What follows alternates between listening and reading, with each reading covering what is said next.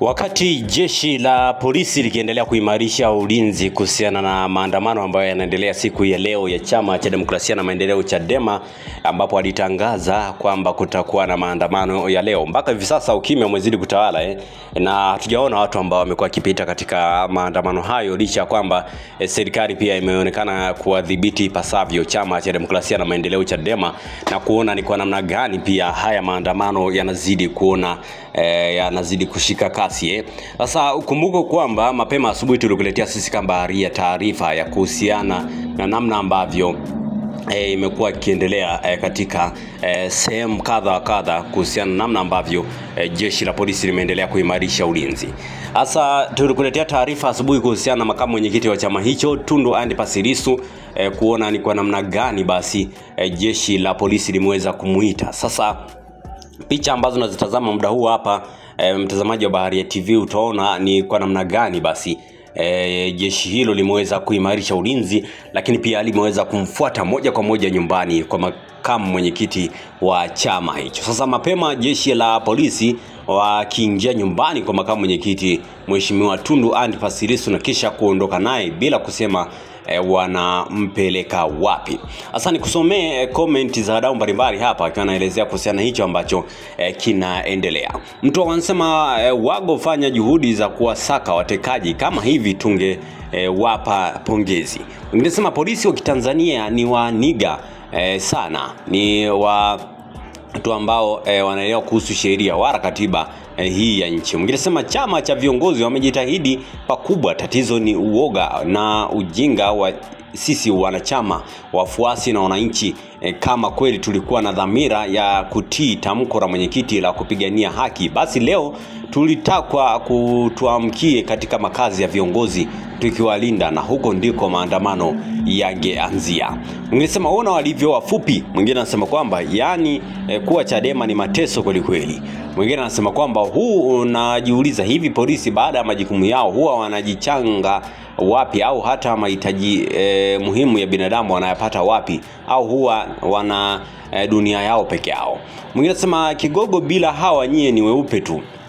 Mwingine anasema yani hawaoni hata aibu. Mwingine anasema CCM bila polisi ni debe tupu. Mwingine anasema kwamba sasa kama akili zenu zinafunza kabisa, mnafata mtu hata e, wembe wa mitutu e, wote e, hiyo alo nyinyi mnapaswa kuweza kupongezwa. Mwingine anasema penye shida ya kisiasa nchi haiwezi kuwa na maendeleo ya kiuchumi, ni rushwa mtupu. Mngesema twendeni huko huko polisi.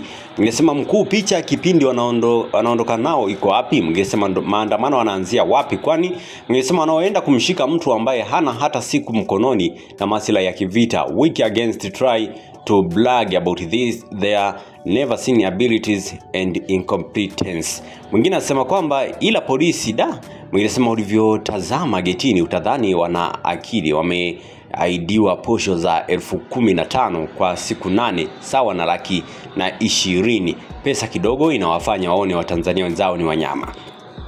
Mwingine anasema kwamba kijana mpenda maendeleo, usikubali kushiriki maandamano yanayoongozwa na kina Lissu, Mbowe na Mlema. Eh, leo hawana cha kupoteza, lakini wewe unayo nafasi kubwa ya kujenga maisha yako na kuchangia maendeleo ya nchi. Mwingine anasema aende tu, si mlidai mtaandamana E, lije li, lije jua ije mvua, vipi tena kakubali kupelekwa kituoni ila Chadema. Mngesema sasa mnaripoti kwa nani ili iweje? Mnaripoti kazi za jeshi la polisi kwa Mambe Kimambi unless e, basi mwambieni kin, e, ni kwa usalama wake. Mngesema hatujui gasia mitaani, amani utulivu ni muhimu tuache kuchapa kazi, tuanze kuzungumza eh, kuhusiana na matukio ya chama cha demokrasia na maendeleo Chadema kwa namna ambavyo yamekuwa yakifanyika.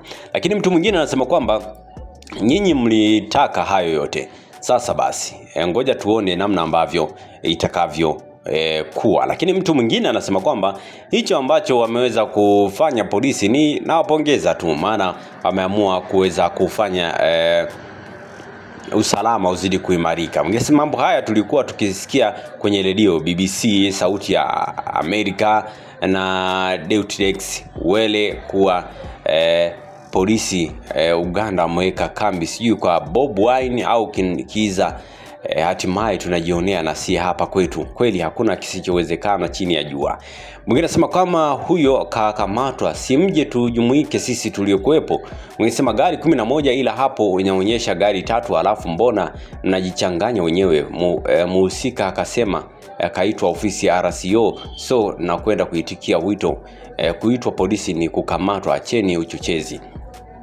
Mwingine anasema kwamba kamanda magari nane e, kufanikiwa kuyarekodi. Mwingine anasema nyie Chadema e, ni waajabu sana wa kiwango cha lami, yaani Mbowe na Lissu walilala nyumbani kwao jana, yaani hopeless kabisa utaratibu maandamano, halafu hujui mbinu za kufanya maandamano. Mwingine anasema wafuatilie mpaka wanakoelekea, tuone nini ambacho kitafuata. Mwingine anasema kwamba sasa, kwa hiyo maana ya hii taarifa isitoke, tusubiri maelekezo. Mwingine anasema tunaamini atakuwa salama, Mungu ni mwema atamtunza salama. Mwingine viongozi wetu ni wapwekwe, hawana backup tuliokuwa nayo kuwa backup tumelala usingizi wa pono na sijui tutaamka lini. Huu kamatwaji wa Lissu asubuhi hii ndio ulitakiwa kuamsha haya maandamano. Mwingine sema hata tukirekodi ni kwa uoga eh, kuna atakayethubutu kwenda lodi. Mwingine anasema mnavyovizia kuchukua video kiuoga, mtatuchanganya kweli kweli. Mwingine anasema mnatuchezea akili sana, walijua kuwa home sio sehemu salama, lakini bado walilala kwao. Mwingine anasema sie e, tunataka kujua mmefikia wapi kwenye maandamano, mtoke nje e, msijifunike mashuka mkaandamana kwenye vitanda. Mtu mwingine anasema kwamba mnaripotia kazi za jeshi la polisi kwa Mambe Kimambi. Kwa hiyo maoni yamezidi kuwa mengi sana, kila mmoja akionyesha ni kwa namna gani ameweza eh, kuona hiki ambacho e, Chadema wameweza kukifanya haikupaswa kuweza kufanyika kwa mfumo huu, licha ya kwamba kumeonekana e, kuna haya ambayo yamekuwa yakiendelea. Jeshi la polisi wamekuwa wakiendelea kuimarisha ulinzi kupitia sehemu mbalimbali, mikoa, majiji, mitaa, e, wilaya mbalimbali nchini kwa ajili ya kuweza e, ku imarisha ulinzi kwa haya maandamano ambayo chama cha demokrasia na maendeleo Chadema eh, kilipanga kuweza kuyafanya Septemba 23, 2024 mpaka hivi sasa ambavyo mtazamaji wa Baharia TV na kutaarifu hapa ni kwamba maandamano hayo yana asilimia tisini ya kuto kufanyika kwa sababu baadhi ya viongozi wao wakubwa wote wameweza kuthibitishwa eh, kuthibitiwa ipasavyo ili eh, kuto kushiriki hayo maandamano. Moja kati ya watu ni pamoja na Mbowe, lakini pia makamu mwenyekiti kama hivyo ambavyo ameweza kuitwa na jeshi la polisi kwa ajili ya kuweza kuhojiana. Lakini mtu mwingine ambaye pia angeonekana kuwa ni mwiba mchungu kwa Chadema ni pamoja uh, kwa maandamano haya ni pamoja na Boniface Jacob ambaye alikuwa ni meya wa Ubungo kule sasa naye aliweza kukamatwa na jeshi la polisi. Mimi naitwa Ezekia bahari ya TV. Usisahau kusubscribe, kulike, kushare pamoja na kucomment na kuweka notification on ili uwe kwanza kupata habari zetu pindi tuwekapo. Asante kwa kuifuatilia Baharia TV. Usisahau kulike, kusubscribe, kucomment na kushare.